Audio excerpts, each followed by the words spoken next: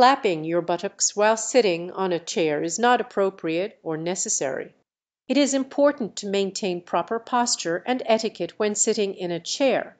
If you have any specific questions about sitting comfortably or maintaining good posture, I would be happy to answer those.